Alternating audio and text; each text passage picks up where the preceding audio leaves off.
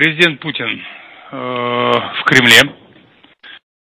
Он э, получает постоянные доклады, регулярные постоянные доклады по линии силовых ведомств. В частности, ему докладывает руководитель ФСБ Бортников, министр обороны Шойгу и руководитель Росгвардии Золотов.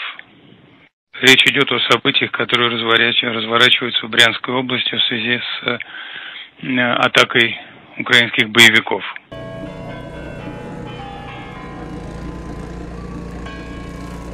Президент Путин проведет открытие года педагога и наставника и встретится с участниками э, пилотной образовательной программы школы наставника. Но проведет это по понятным причинам в режиме видеоконференции.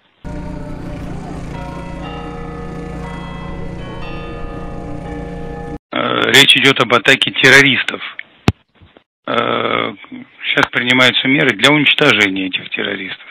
А на международной арене э, как обращали, так и продолжим обращать внимание и привлекать внимание мировой общественности к, к тем терактам, которые эти люди осуществляют.